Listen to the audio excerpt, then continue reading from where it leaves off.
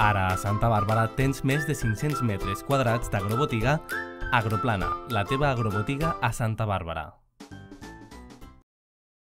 Una espectacular posada en escena a bord d'un tren en marxa que portarà els espectadors fins a l'Orient serà la temàtica de l'esperit del Nadal, la proposta del Museu del Ferrocarril i l'Escola de Teatre Bonafuentes Actors de Reus, que s'estrena en este projecte que arriba a la tercera edició. Apropar el ferrocarril als més petits i fer-los sentir curiositat és un dels objectius de la proposta i el, el, el tren que utilitzem per a fer aquest espectacle és una, una unitat 444 que en diem, que és bastant,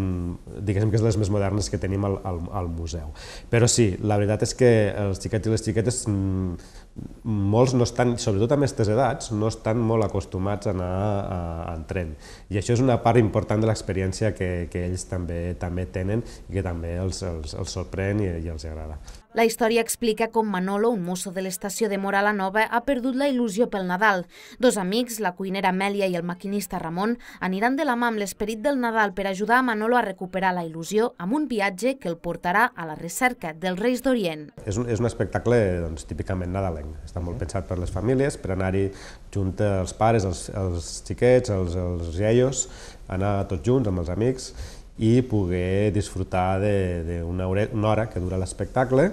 amb la peculiaritat, que és una miqueta el que el fa diferent i potser més atractiu, que una gran part de, de la representació té lloc a dalt d'un tren en, en moviment. D'esta manera, el Museu del Ferrocarril tancarà un any on pràcticament s'ha recuperat l'afluència de visitants prèvia a la pandèmia i on la instal·lació ja treballa en un creixement físic del seu espai d'exposició i l'ampliació de tallers per rebre més material ferroviari per ser restaurat.